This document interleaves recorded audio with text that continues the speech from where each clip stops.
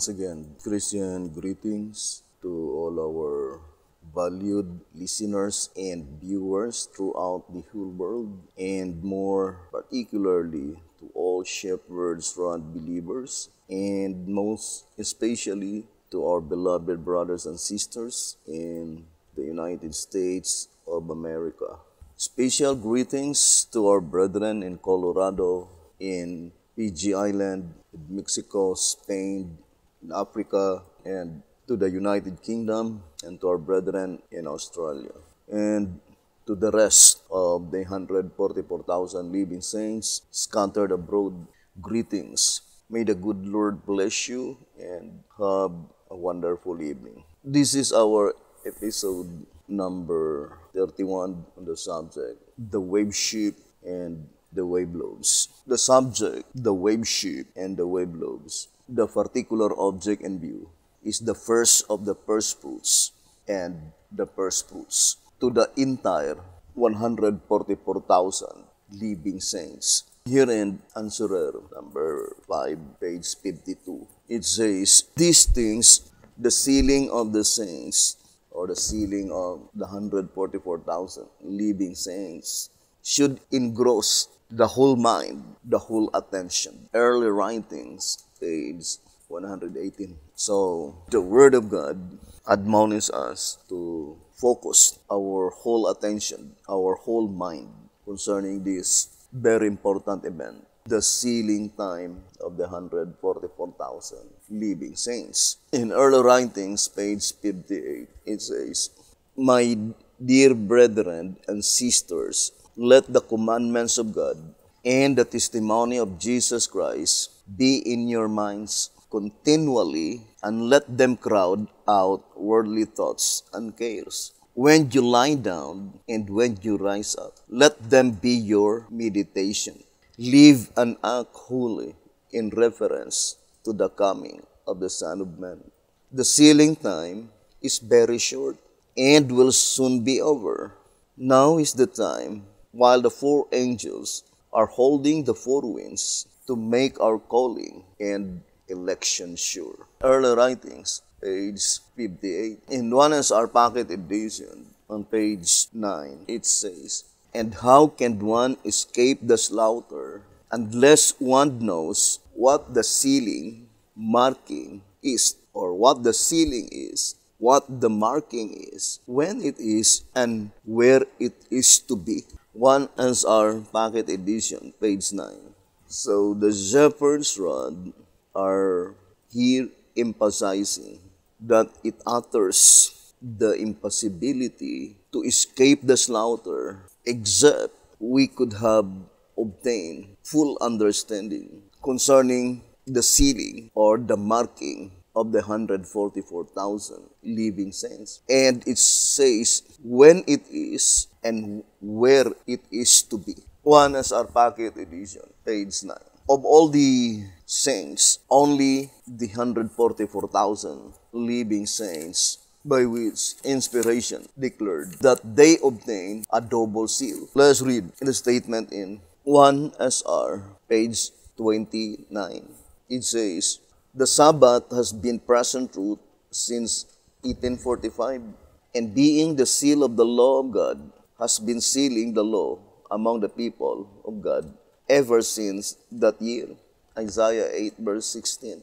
Bind up the testimony, seal the law among my disciples. This has been the work of the third angel, and for this reason, the third angel has no seal, for the seal is in the law. But the angel of Revelation 7 has a seal in his hand. Ezekiel calls him the man with the writer's inkhorn, who is to set a mark upon the men who sigh and cry for all the abominations that be done in the midst thereof, the church. This is the seal of the 144,000.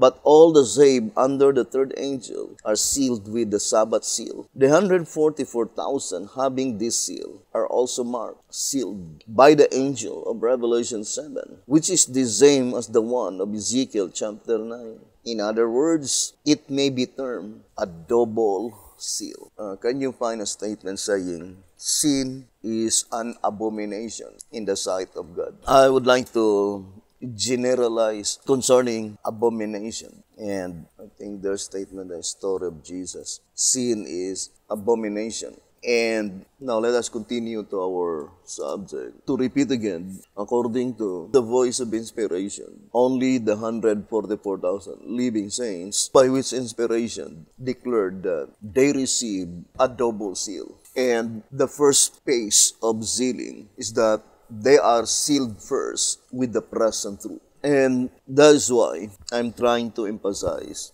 that of all the abominations, which is sin, sin is an abomination in the sight of God. And of all the abominations, the prominent one and even more dangerous is the sin against the Holy Ghost. Now, let us read again the statement here in 1SR, page 28. According to these scriptures, which are plainly stated, we must conclude that the saints of God are sealed with present truth in all ages. And whatever that present truth is, that is the seal. That is the first phase of sealing, settling into the present truth. Here in Bible commentary for BC 1161, it says, what is the seal of the living God, which is placed in the foreheads of his people? It is a mark which angels, but not human eyes, can read.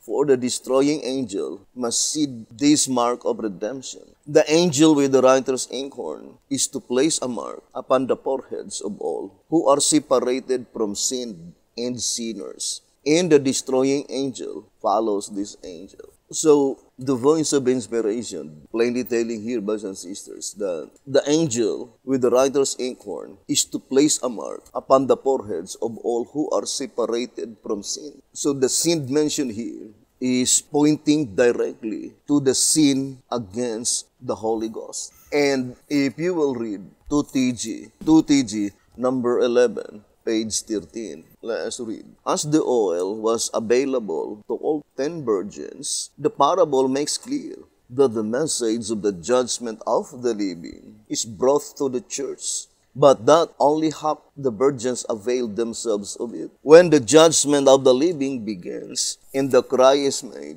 Behold, the bridegroom cometh, go ye out to meet him. They will all arise, but only half of them will gain admittance. The other half will have sinned against the Holy Spirit, will have rejected his truth. Consequently, when they knock on the door, the bridegroom's answer will be, I never know you. What foolishness and what a disappointment that will be. The statement, brothers and sisters, is very hard to imagine. Saying the other half will have sin against the Holy Spirit. It seems that there is no choice. Will have sin against the Holy Spirit. Will have rejected His truth. Why? It's so because they did not permitted the Lord to separate them from those movements who are rejecting present truth. Or, in other words, if you will allow yourself to be among those people rejecting present truth, then you allowed your own self to sin against the Holy Ghost, against the Holy Spirit.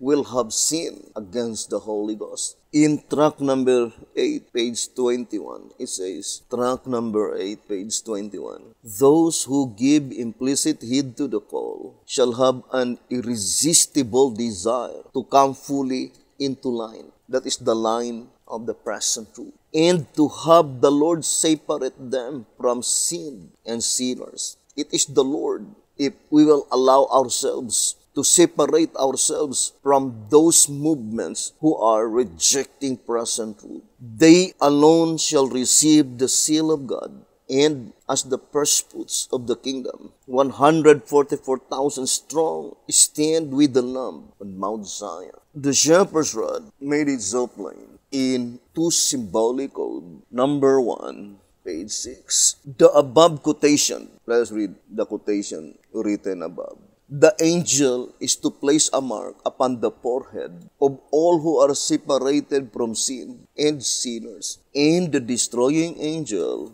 will follow to slay utterly both old and young. Testimonies for the Church, Volume 5, page 505. The above quotation needs no interpretation, as does a relightings, page 71. It is definite that before God's people receive the seal, they must separate themselves from sin and sinners. So that is very plain, definite, meaning distinct and clear. The, the sealing angel will seal God's people with a seal of protection. Those who allowed themselves permitted the Lord to separate them from sinning against the Holy Ghost. It is the Holy Ghost, it is the Holy Spirit that will grant the saints the seal of protection, then how could you be able to obtain that final seal, the seal of protection, if you are sinning against the Holy Ghost, which is the rejection of present truth? So let us read again the statement in 2SR 198. The rejecting of light in present truth is the sin against the Holy Ghost. And whosoever speaketh a word against the Son of Man, it shall be forgiven him. But whosoever speaketh against the Holy Ghost, the present truth, it shall not be forgiven him, neither in this world, neither in the world to come. Matthew 12, verse 32. Then it says, Our attitude towards present truth would either make a tree good and his fruit good, or else make the tree corrupt and his fruit corrupt. For the tree is known by his fruit. Verse 33. We know the tree is represented by leadership. And if that tree, leadership, are rejecting present truth and you allowed yourself to be a part of that tree, then the statement in 2 TG 11:13 will have sin against the Holy Ghost. There is no choice. The consequence is you will be among them who will reject the present truth. Thus, present truth has the power to change the individual and fit him for eternal life, which is the seal of the living God. Say Jesus, Verily, verily, I say unto thee, except a man be born of water and of the Spirit, he cannot enter into the kingdom of God. John 3, verse 5. Obviously, therefore, to sigh and cry is to proclaim the message of presenthood. Here in answerer number 4, pages 13 and 14.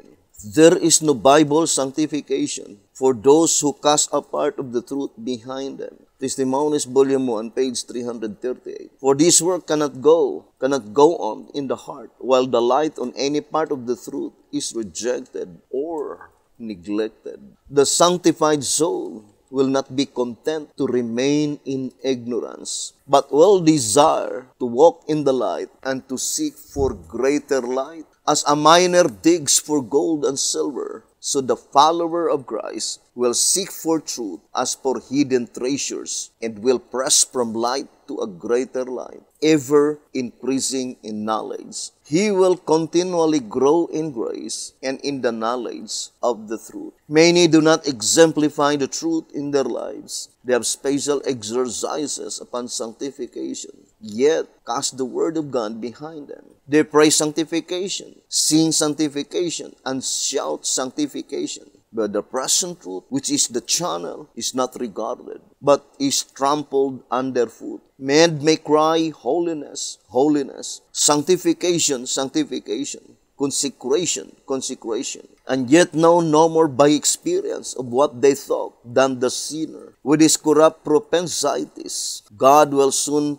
tear off this whitewashed garb of professed sanctification, which some who are carnally minded have thrown around them to hide the deformity of the soul. Answerer number four, pages 13 and page 14. For example, Protestants, they were evangelizing the world, and according to them, they were sighing and crying all the abominations that done in the Catholic Church. It might be true. There might be truth of what they declared. But the absolute fact is that there is a part of truth that they trampled underfoot and that is the Sabbath. The Seventh-day Adventist Church, they were proclaiming the message to all Sunday keepers, and according to them, they were sighing and crying for all the abominations that done among Sunday keepers. It might be true, there might be truth in what they proclaim, but the absolute fact is that they trampled underfoot the message of the third angel. Shepherds and believers are sighing and crying to all the Seventh-day Adventist Church. But Think it thoroughly. What if? If there is a truth by which the Bidian at this present time are rejecting, would you think such sighing and crying is acceptable in the sight of God? That was the statement in answer number 4, page 13 and 14.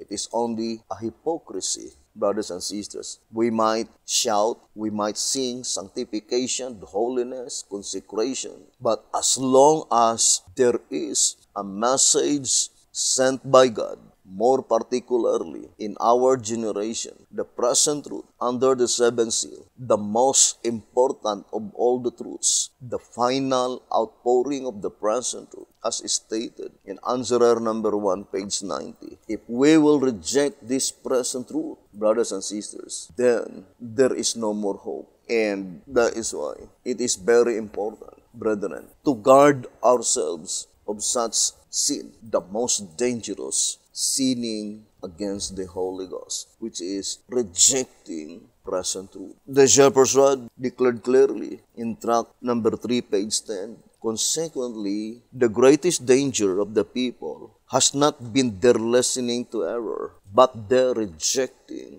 present truth. That is the greatest danger, rejecting present truth. In 2SR 104, it says, prejudice with dependence upon men in confidence of having all the truth, and that there is need of none, has devoured more souls than any trap ever devised by the enemy of mankind.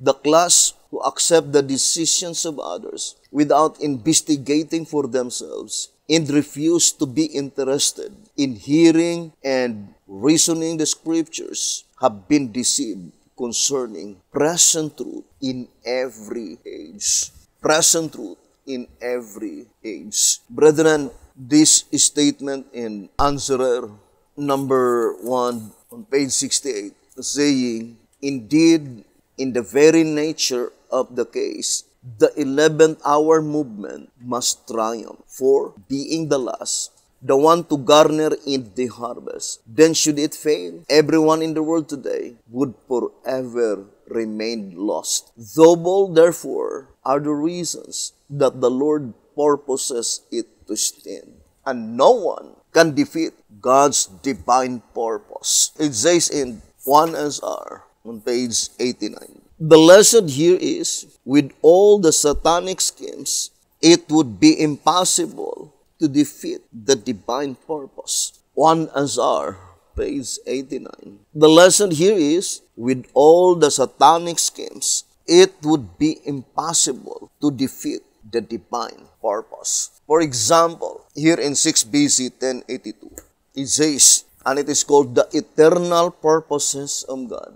God had a knowledge of the events of the future even before the creation of the world. So that is the power, the almighty power, the ultimate power of our Almighty God. He had already a knowledge of all the events of the future, even before they did exist. He did not make his purposes to fit circumstances, but he allowed matters to develop and work out. He did not work to bring about a certain condition of things, but he knew that such a condition would exist. The plan that should be carried out upon the defection of any of the high intelligences of heaven. This is the secret, the mystery which has, which has been hid from ages and, and offering was prepared in the eternal purposes to do the very work which God has done for fallen humanity.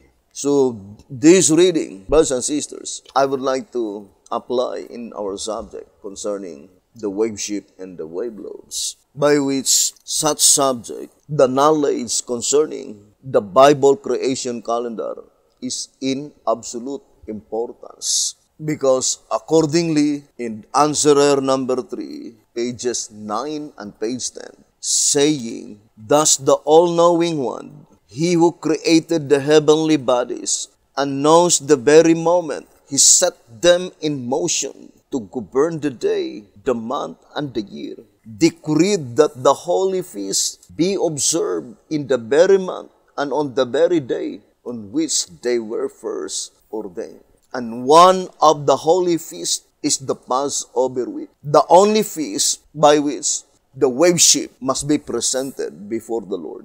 And since God Himself decreed that it must be observed on the very day and on the very month by which God Himself ordained, Obviously, therefore, the knowledge of the Bible creation calendar is in absolute importance. And the production in Daniel 7, verse 25 and 26, every Bible student, Sabbath keepers, understood that it points out to the dark ages of religion, the reign of the papal supremacy. Daniel 7 verse 25, And he shall speak great words against the Most High, and shall wear out the saints of the Most High, and think to change times and laws, and they shall be given into his hand until a time and times and the dividing of time.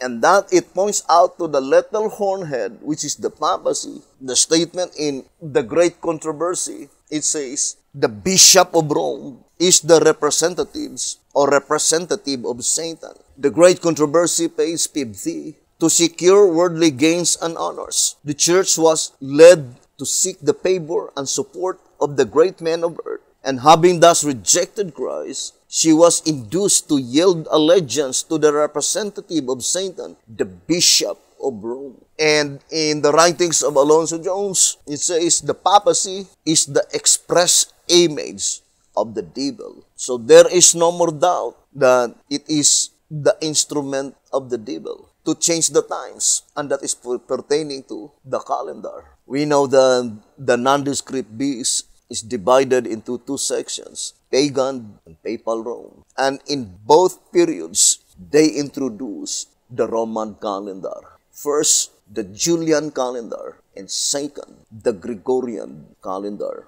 by which the purpose of Satan is to obliterate completely the knowledge of God's people concerning the Holy Feast. By introducing such calendar, Satan's purpose is that the divine decree that the Holy Feast must be observed on the very day and on the very month by which it was ordained by God could no longer be any possibility to obey such injunction by introducing such calendar to cause confusion. But God is a powerful God. Satan is only created by God or Lucifer. And the voice of inspiration says in volume 5, page 754, it says, He can devise ways and means, that is God.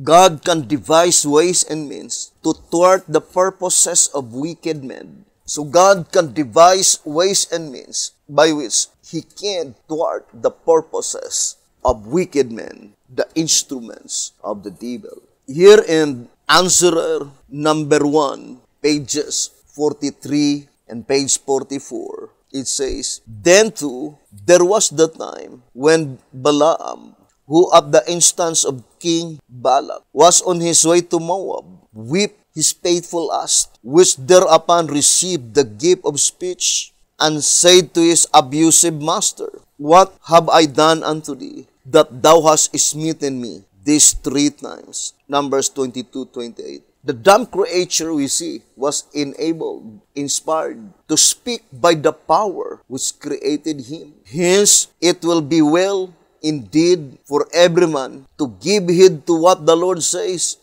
and thus regardless how, when, where, and through whom he says or does it. And here in pages 42 and page 43, I would like to read this statement. In this preternatural event, which so radically changed the course of human society, we see another form of inspiration, revealing that while one individual or a group of individuals may deliberately work at cross purposes with God, He can bestow His gift even on them to prostrate their own evil designs. Genesis 11 verse 1 to 9. While promoting His eternal purpose and getting praise to His name. Psalms 76 verse 10. Another example of this marvelous manifestation is seen in the contravention of Balaam's evil intent. The Lord so controlled Balaam's tongue that though his mind was bent on cursing Israel, he could pronounce only blessings. Numbers 22, 23, and 24.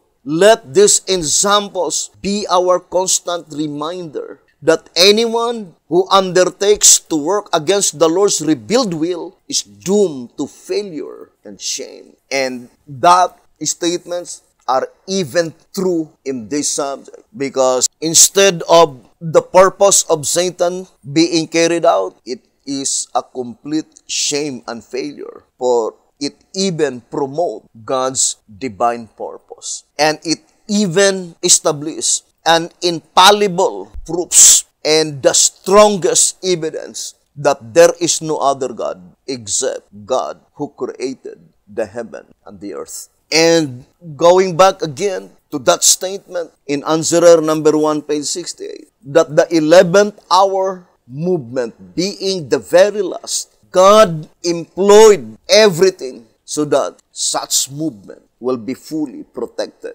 it says God's divine purpose that such movement will stand.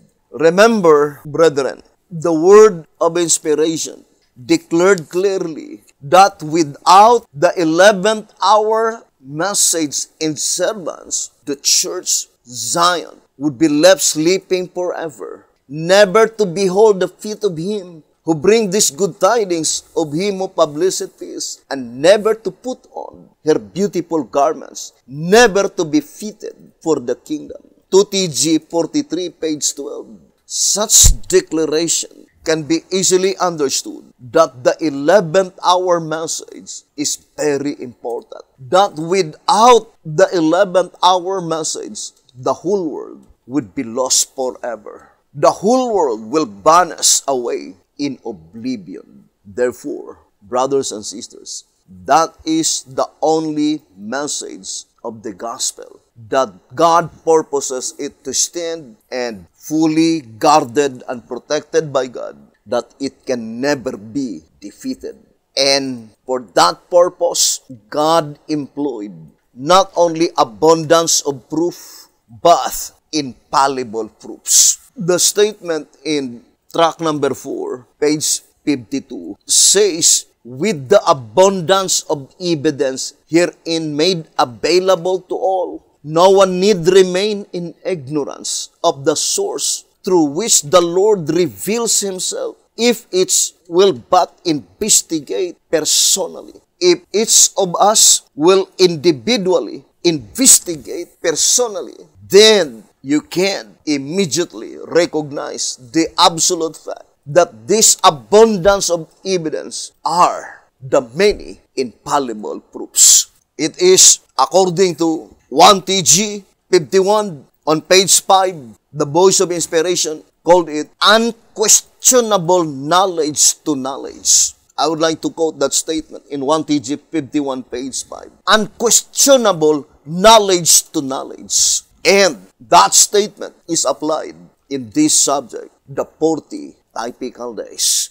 Unquestionable knowledge to knowledge. Now, let us go back to the reading. In track number 3 on page 86, the 40 days in Acts chapter 1, verse 3 and verse 9, from the resurrection to the ascension are consequently typical. Typical of what?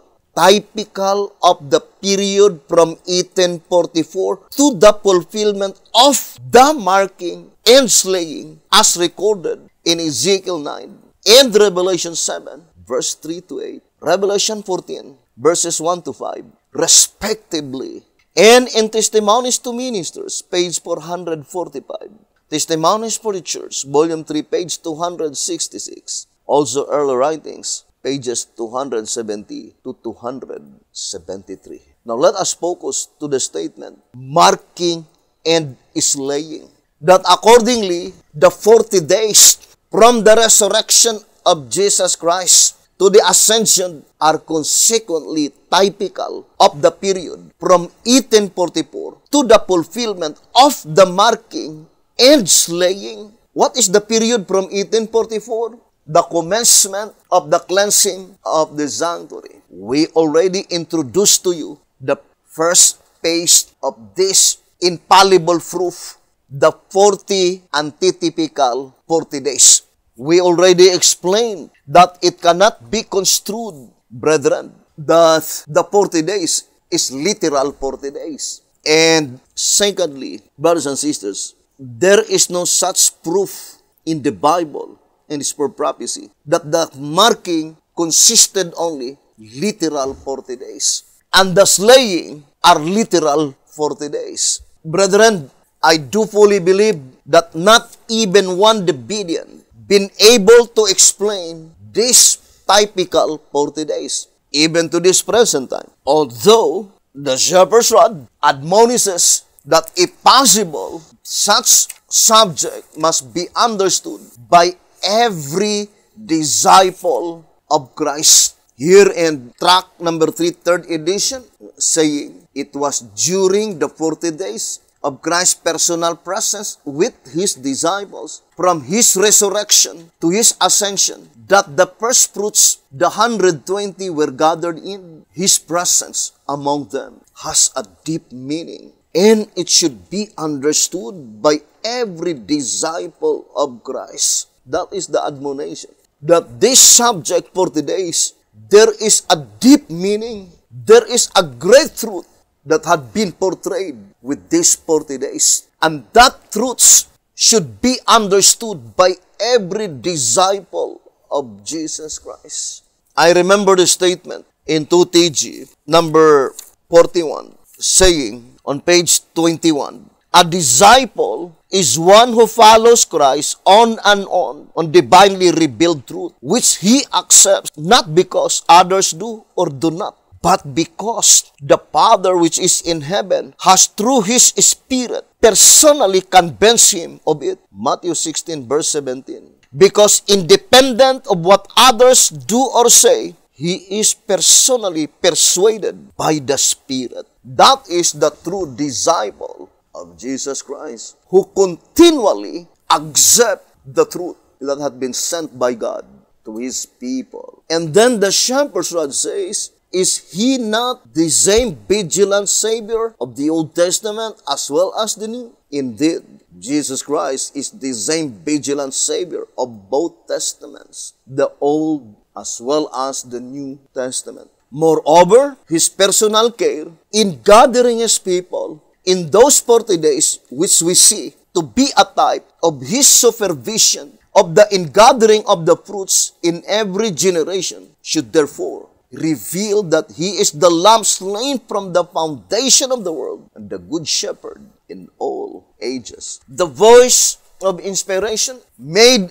it's so plain, very plain, that such 40 days from Christ's resurrection to his ascension, the 40 days Christ's personal presence with his disciples should serve as the type of the entire supervision of Jesus Christ, how Jesus Christ gathered all the fruits pertaining to humanity from the foundation of the world.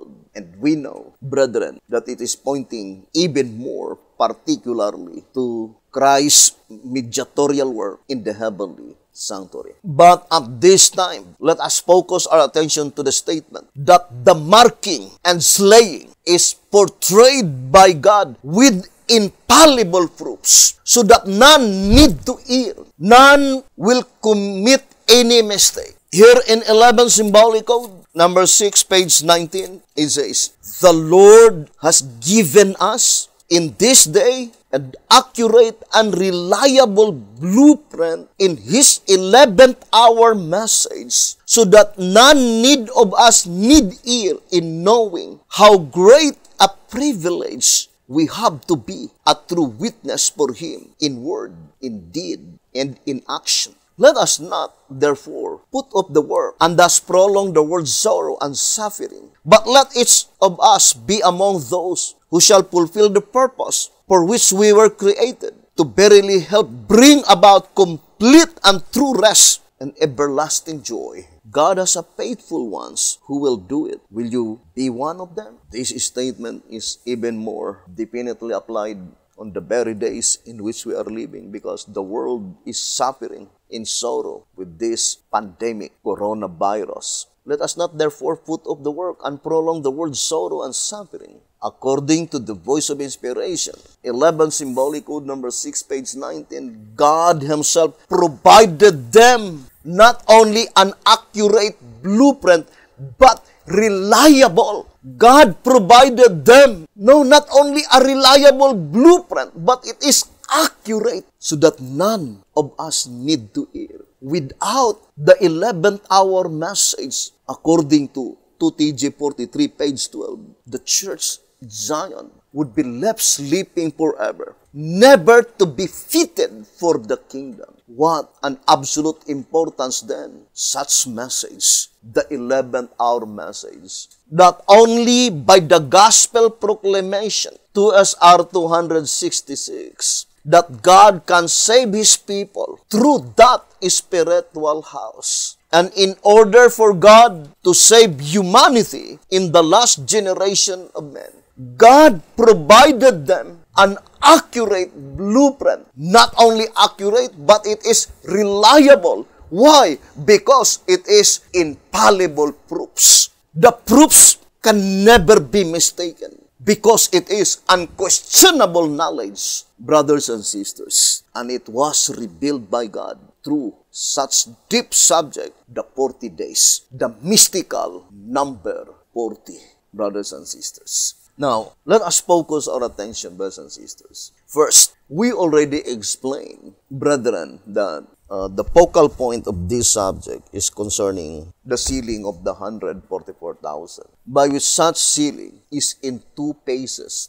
Now, let me read to you again this reading in the vision of the prophet in early writings, page 38. It says, I saw four angels who had a work to do on the earth and were on their way to accomplish it. Jesus was clothed with priestly garments. He gazed in pity on the remnant then raised his hands, and with a voice of deep pity cried, My blood, Father, my blood, my blood, my blood. Then I saw an exceeding bright light come from God, who sat upon the great white throne, and was shed all about Jesus. Then I saw an angel with a commission from Jesus swiftly flying to the four angels who had a work to do on the earth and waving something up and down in his hand and crying with a loud voice, Hold, hold, hold, hold, until the servants of God are sealed in their foreheads. I asked my accompanying angel the meaning of what I heard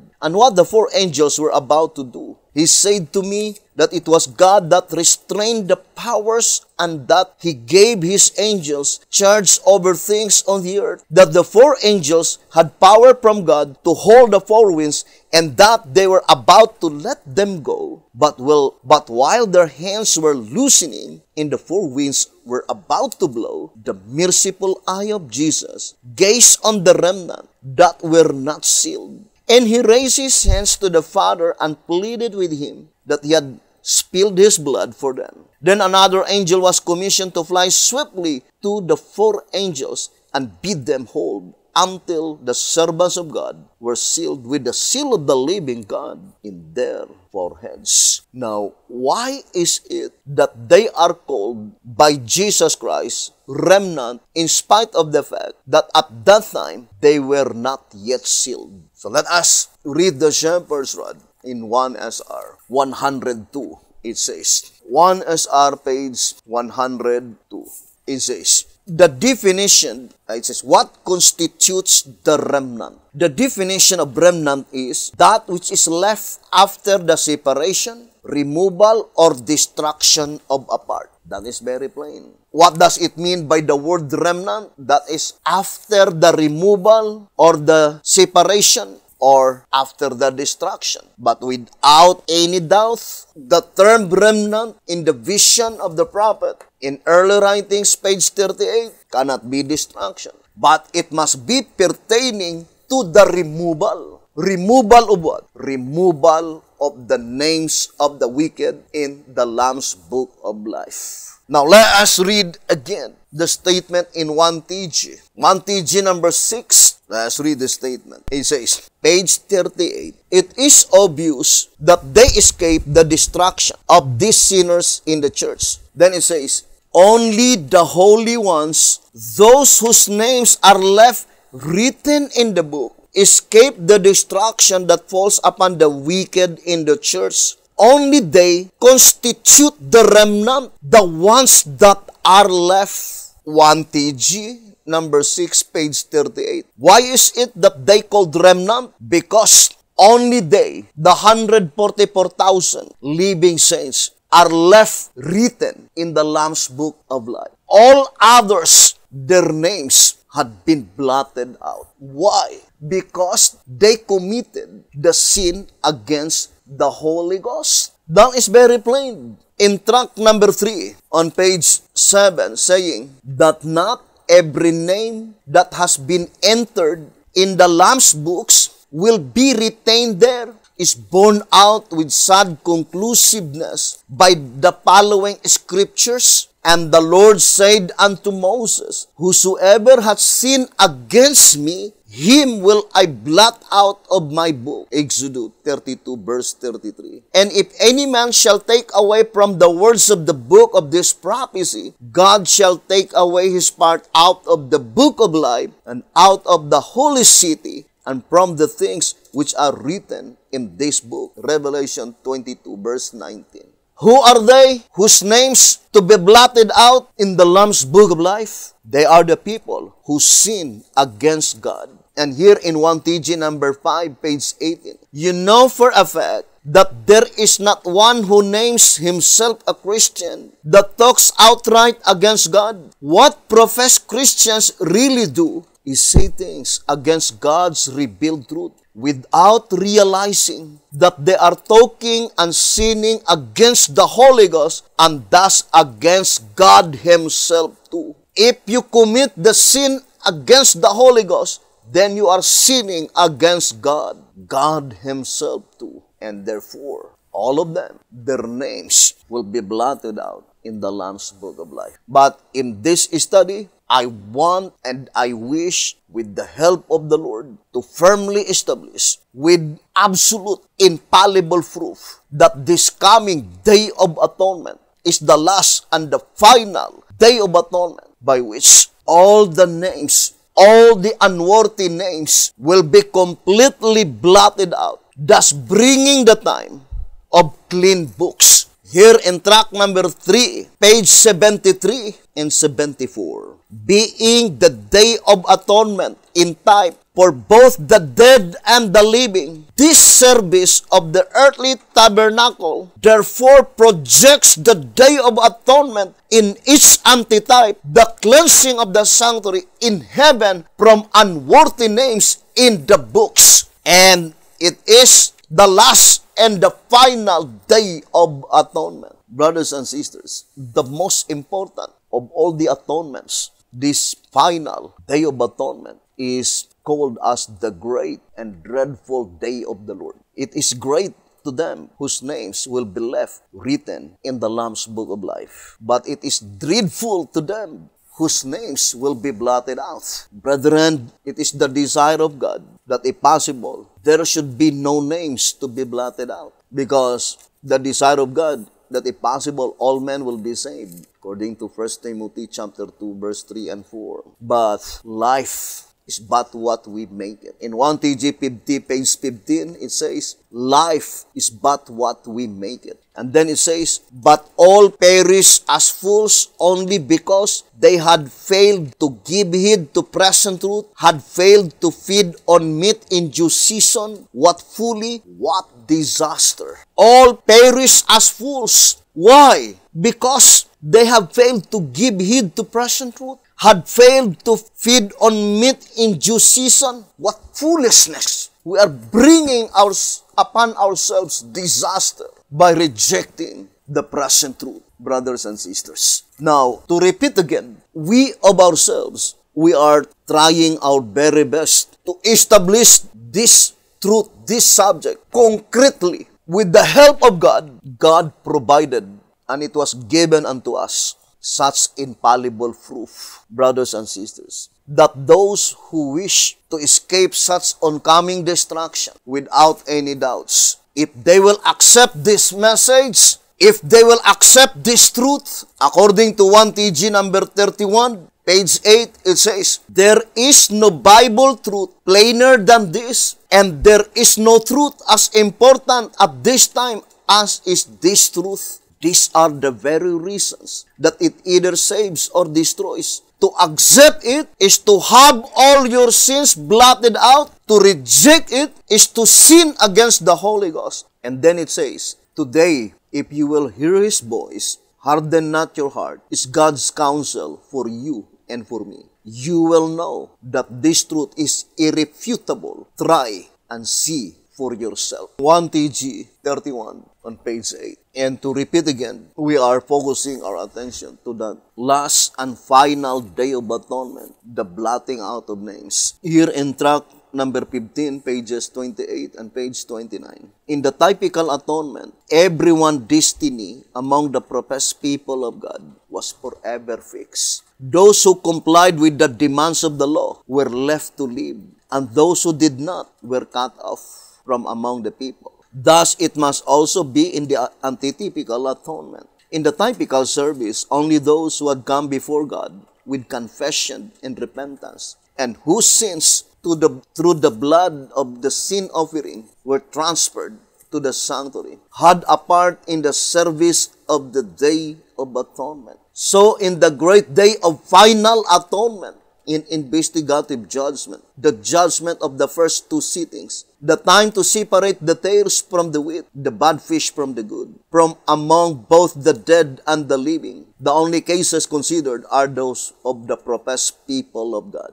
Those who have at one time or another accepted the call and have the right to be clad in the wedding garment. Thus the question if the judgment first begin at us, what shall the end be of them that obey not the gospel of God? So the voice of inspiration says, first two sittings. Now let us divide the two sittings according to this reading. The first sitting is pertaining to the dead, blotting out of the names among the congregation of the dead. And the second and last sitting is the congregation of the living. And we will prove to you, brothers and sisters, that how God revealed the 40 days on the first sitting is the same method on the last sitting. Because God, according to 2 SR 238, saying, Here we see another time God's truth to the world before the Bible came coincides with this truth in the time of the Bible, showing that God has but one truth, one Christ, and one gospel in all ages. Therefore, the idea thought by self-styled ministers of the gospel that God had one method of saving people before the Bible came into existence, another in the Old Testament time, with the descendants of Abraham, and still another for the new and the Gentiles, etc., is a deception of the devil, and there is no truth in it. Not only the things written prove the truth and exposes the error, but even common reasoning tells us there can be no justice in such an ever-changing method of salvation. For I am the Lord, I change not. Now, brothers and sisters, to repeat again, the same procedure, the same method that had been employed in the first sitting, the commencement of the cleansing of the sanctuary, as we already show to you, the first phase. Now, let us go again to the first phase. Now, look at brothers and sisters on the first phase. April 18, 31 AD, that is the resurrection of Jesus Christ. The 40 days in Acts chapter 1, verse 3 and 9, from the resurrection to the ascension. And there are only two dates, April 18 may 27. That two dates reveals the entire truth of the plan of redemption. 18 and 27. Now look at the statement. The 40 days in Acts chapter 1 verse 3 and verse 9 from the, from the resurrection to the ascension are consequently typical of the period from 1844. What is the period from 1844? The cleansing of the sanctuary. October 22 Now, look at brothers and sisters. 18. Of course, there is no other number to complete 40 from the number 18 except 22. Then 18 plus 22 equals 40. That is October 22, 1844, that Jesus Christ entered to the most holy place. Now, here's another mysterious revelation, brothers and sisters. Let us, um, only the portion, uh, number 136 the mystical number 40. Now look at, this is 1844, and that is pattern number 5. We have 1844, then minus 31. What is 31? 31 AD. And the answer is 1,813 years. Therefore, from 31 AD to 1844, or from April 18, 31 AD, to October 22, 1844, that was, or there are, or there were 1,813 years, not 40 days, not 40 years, not 400 years, not 4,000 years, but 1,813 years. I think that is also found in early writings, in that historical event. If you will read historical prologue, page 14 or X1V. But it is pointing from, from AD 34 there were 1,810 years extend to 1844. But that is 34 AD. So in 31 AD, that is 1,813 years. Now let us go back again, brothers and sisters. But you think it is just a mere happenstance? This number 18, that is April 18. How about 13? That is the remaining days in April 18, 31 AD.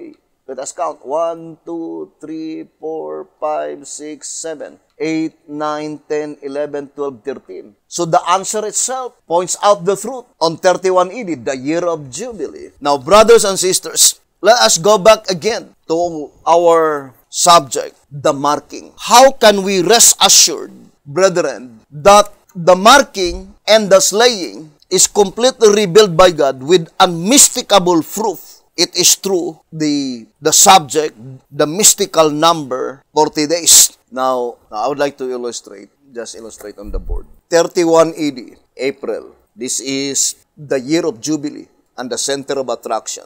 Sunday, Monday, Tuesday, Wednesday, Thursday, Friday, Saturday. Then 1, 2, 3, 4, 5, 6, 7, 8, 9, 10, 11, 12, 13, 14, 15, 16, 17, 18, 19, 20, 21, 22, 23, 24, 25, 26, 27, 28, 29, 30. So this is the year and the month by which Jesus Christ was resurrected. April 18. April 18. I think we have uh, that diagram. Let me uh, see first. Let's see the, that diagram um, number 120, 125, the 40 typical days. Let us focus here, pattern number 6, because this is, um, so let us enlarge this one.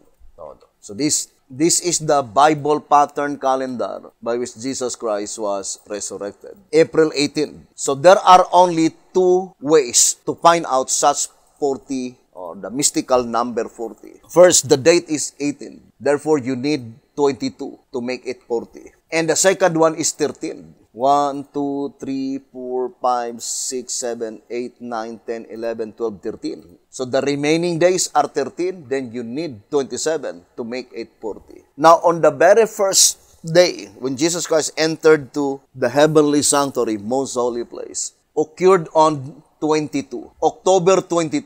Would you think It is just a mere happenstance that 18 plus 22 equals 40. And also, would you think it is just a mere happenstance that 1844 minus 31 AD equals 1,813 years? And that is 18 and 13, 1,813 years. There are 13 remaining days here. When does Jesus Christ ascended to heaven? 27, May 27. So that is a mystical number because the number is 18 and 27. In order to make 18 40, you need 22. In order for 27 to make it 40, you need 13. Or in order for 13 to make it 40, you need 27. What is October 22? Gregorian calendar. Then the same method. This 27 must also be Gregorian, brothers and sisters. Although it is commonly known by Many Sabbath keepers that October 22, 1844 is the Day of Atonement, although that was October 11. Now let us go back again, brothers and sisters, in that diagram, um, 127. Uh, Let's go back again to 127 diagram. Now, let us focus here. Revelation 7, verse 3 to 8. Now, look at brothers and sisters. Verse 3 contain 23 words. Verse 4 contain 30 words. Verse 5 contain 27 words. Verse 6 contain 26 words. Verse 7 contain 27 words. Verse 8 cons- contained 27 words. Then all in all, it is 160. If you will add 23, 20, 30, 27, 26, 27, 27, 160 words. Where we derive 18? Let us add 7, Revelation 7, plus 3, plus 8, that is from verse 3 to 8, then 18. Then 18 plus 160 equals 178. Now, would you think that is just a mere happenstance? October 16, 1845 Gregorian, but in Bible, that is October 10, 1844. The first day of atonement in the most holy place. Then we add 178 years. You will fall in October 10, 2022, by which in Gregorian calendar, that is March 27, 2021 brothers and sisters. Then 13, because there are remaining 13 days here. In April 18, 31 AD, 13 plus 27 equals 40. What is the statement in track number 3? Let's go back again. Track number 3, page 86. Track number 3, page 86. The 40 days Acts chapter 1 verse 3 and 9 from the resurrection to the ascension. Now, if you apply it to uh, to re- replace the word resurrection to the actual date. The 40 days, Acts 1 verse 3 and 9 from April 18 31 AD because that is the resurrection. The 40 days, Acts chapter 1 verse 3 and 9 from the resurrection, April 18, 31 AD to The ascension, May 27, 31 AD, are consequently typical of the period from 1844. So what is the date? The actual date in 1844, October 22. Brothers and sisters, October 22, to the fulfillment of the marking and slaying, not only the period from 1844, but also to the fulfillment of the marking. Let us go first to the marking since it is revealed by 40 days, brothers and sisters. When does the marking begins? According to the vision that was shown by God to Sister White. After the blotting out of names, because the vision says, Jesus gazed on pity to the remnant which were not yet sealed. Why is it that they are called remnant? Because the blotting out of names is already finished. In 1 TG number 11, page 11, it says, So only those who survived the judgment for the living in the house of God, 1 Peter 4.17, those whose names are not blotted out from the book. Do not forget that statement.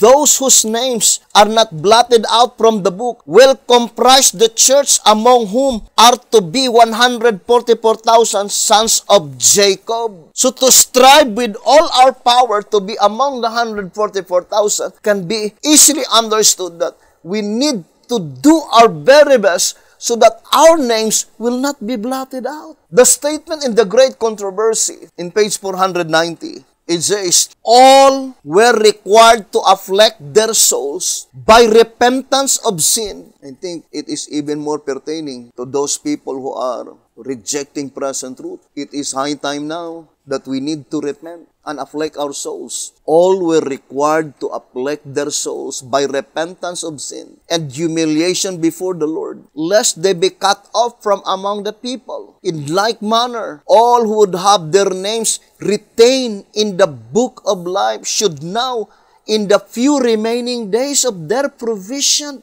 afflict their souls before before God by sorrow for sin and true repentance. If you desire to let your names be retained in the Lamb's Book of Life, brothers and sisters, we need now to repent according to the voice of inspiration and change our present attitude. Otherwise, we will be among those people who will gnash their teeth with lamentation. I would like to read again that statement in track number 1, page 46. It says, let us read the statement, that indeed you're accepting the truth and obeying it is the only thing that will forever ensure your membership with the redeemed in the church eternal and that the only book that is worthwhile having your name in is the Lamb's Book of Life. Track number 1, page 45 and 46. And one also my uh, most favorite statement is in 1 TG 28:12. Indeed, the important thing is not how good or how bad we are or have been, but how susceptible and submissive to present truth we are now while it unfolds. The real burden of our prayer should be that we catch a vision of the truth that makes free if accepted as the scroll and rules. How could we ascertain clearly that that is the Day of Atonement? By counting the days, because the weekly cycle never been changed, never been altered, brothers and sisters. But to repeat again, it is only through the knowledge of the Bible calendar by which we could ascertain clearly that Day of Atonement and the voice of inspiration is plainly telling us here in 2 us R220. Um, I would like to read again the statement. It says, Therefore, a revelation of the judgment for the living is of as great importance as the revelation of the gospel itself or the judgment blotting out the sins is the crowning act in the gospel of Christ. Thus, we conclude that when the seal is opened and the judgment for the living begins, we must know it. The Day of Atonement in its time proves the same, for the Israelites were well informed of the event, their duty, and the consequence. And would you think we, the last generation, by which the particular object and view, God will not inform us we will remain in ignorant concerning that last and final day of atonement? Brethren, it is an impossible thing with God. It is the desire of God that all of us should know that our cases are now on trial. That statement in 2 TG 1230 to the people that they need to know that their cases are on trial, that is the the people who are candidates either to be living saints or living wicked. The choice is up to us because life is but what we make it. And it was graciously revealed by God by this mystical number 40. And what that mystical number? Number 18 and number 27. Ponder deeply, brethren. The statement in track number 3, page 86, let us go back again. It says, The 40 days from the resurrection. What is the specific date? When Jesus Christ was resurrected, April 18. Brothers and sisters, that was on the month of April. What is April? The first month of the Bible. What is the last month in the Bible? March. Now look at how perfectly God portrayed I think only the month of April, although I'm um, uh, not yet so certain, but I think only the month of April and the month of March by which it contained five letters. April, 1, 2, 3, 4, 5. May, only three letters. June, 4. July 4. 1, August 1, 2, 3, 4, 5, 6. August 6 letters. September 1, 2, 3, 4, 5, 6, 7, 8, 9. And only October contain 7 letters. 1, 2, 3, 4, 5, 6, 7. We have November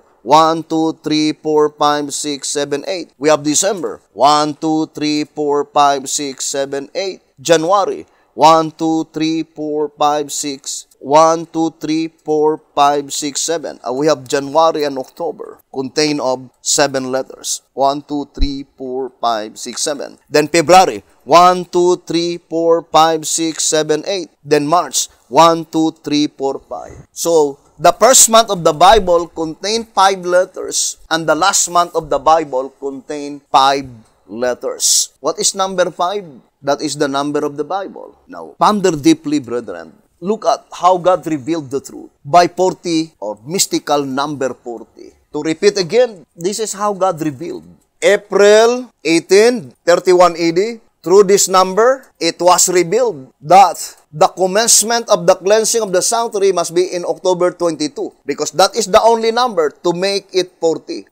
18 plus 22 equals 40. There is no other date, but it doesn't mean, brothers and sisters, just simply that it is October 22. No. First, October 22 is the end part of the uh, 2,300 years. And second, brothers and sisters, second, October 22 is October 11 in Bible calendar, which is the commencement of the judgment that pertains to the dead. Why 22? Because that is the only number to make 18 40. 18 plus 22 equals 40. Why 11? Because that is the commencement of the investigative or investigation. If it is October 10, then that is executive. And it could not be because it is contrary to the procedure as stated in Great Controversy 485. The sins of men is impossible to be blotted out without passing first investigation, by which their cases must be investigated.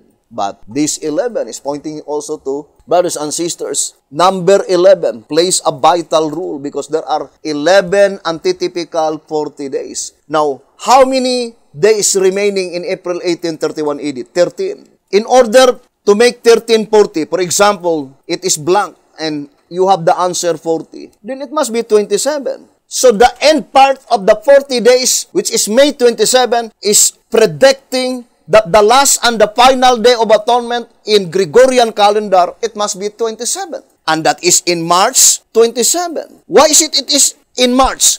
Because according to track number 3, brothers and sisters, the cleansing of the sanctuary is illustrated by the 12 months of the year. It seems that it is only symbolical one year from April to March Would you think that is just a mere happenstance? It's up to you, brethren. Do not wait until the event will take place. And the time you believe the message, at the time when your name is already blotted out, then you miss everything, brothers and sisters. And this subject is also connected to that subject, the 12 figurative months. So let us finish explaining that diagram in 127 and we'll continue to our next episode. So here, brothers and sisters, it says um, the quotation is Ezekiel 9, Revelation 7, Revelation 14. So these three chapters, brothers and sisters, let us explain. Ezekiel 9 has 11 verses. You see, even Ezekiel 9 only 11 verses. Why? To represent the 11 antitypical 40 days. The same with Acts chapter 1 verse 11. Now, Revelation 7 has 17 verses. Why? To represent indicating that the last 40 typical days, which is the general resurrection of all the righteous would be on April 17, 2031, the third day of the feast. That is on the year of Jubilee, in which in Gregorian calendar, that is August 19. So what is the missing number to complete 40? 19. That is 21. And would you think that is just a mere happenstance? Brothers and sisters, that that was in, let us show again, that diagram. And 106. Look at this diagram. You see, 44 AD. What is 44 AD? The year by which Jesus Christ entered to the first apartment, holy place, according to The Great Controversy, 421. 44 AD, pattern number 5, Bible calendar. Then that is 21. The seventh day of the feast by which Jesus Christ offered himself before God the Father. April 21, 44 AD. And you think that is just a mere happenstance? Because the statement, that offering of Jesus Christ and to together with those who had been resurrected with him, is typifying the general resurrection. And the general resurrection will be on April 17, 2031, the year of Jubilee, pattern number 4, by which in Gregorian calendar, that is August 19. Here is another accident. If you think that is an accident, let's go back again. 21 plus 19 equals 40. No, brethren, nothing happens accident because all the important events They are the only one by which there is a mystical number 40. All others, there is no mystical number 40. Only in that particular event, my dear brothers and sisters. So let's go back to that diagram. Uh, Ezekiel. You see, brothers and sisters, and we already explained here, Ezekiel chapter 9 contained 400 words. And it's up to you if it is just a mere happenstance that 400 times 360 equals 144,000. Why 360? Because the ceiling of the 144,000 will only be in one year. And here, brothers and sisters, this is The symbolical 400, brothers and sisters, the symbolical 400 when God's people will be delivered at midnight deliverance. How do we know that this is the symbolical 400? The symbolization of the entire words in Ezekiel chapter 9 verse 1 to 11. Let us go to the time. You see that is the 400 years, 1891 BC to 1491 BC, but the symbolical is only true pattern. It seems only one year because that is pattern number 3 and pattern number 4. So the symbolical 400 is only 1 year. And that is why 400 times 360 equals 144,000. The symbolical 400 from April 14, 2023, by was in um, Gregorian calendar, that is September 27, 2021. And then September 22, 2022. This is, brothers and sisters, we called the marking of the 144,000. Look at September 27, 2021. Then, what is the remaining days in April 1831 AD? 13 plus 27 equals 40. How about September 22? The midnight is slaughtering. 18 plus 22 equals 40. Both of them was signified by the 40 symbolical or 40 or mystic, uh, the mystic number 40, brothers and sisters. So it must be in September 27, 2021, here, the 144,000 are completely sealed. We will continue this subject, brothers and sisters, on our next episode. It is still a long study, but to repeat again, brothers and sisters, everything that we introduce is infallible. The proofs is infallible, can never be mistaken. And only the wicked will wait according to 1 TG number. Uh, let me read to you. This is the last reading. It says in 1 TG number 12, page 25, Doubters, as a rule, wait until there is unquestionable evidence before they acknowledge that the message is from God, but it may not do them any good at that late hour. If you will believe this message after March 27, 2021, brothers and sisters, it is too late. You place yourself under such condemnation, hoping that you will be listening this very important message before that Day of Atonement, the blotting out of names on March 27, 2021 by which in Bible calendar that is October 10, 2022. Thank you very much for listening and viewing this program. May the good Lord bless you and have a beautiful, wonderful evening.